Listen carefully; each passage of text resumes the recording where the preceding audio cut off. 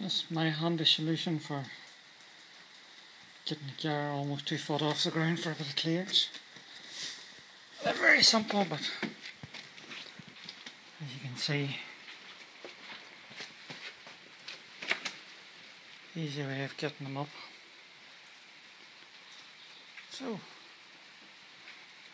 hopefully get this MOT very soon.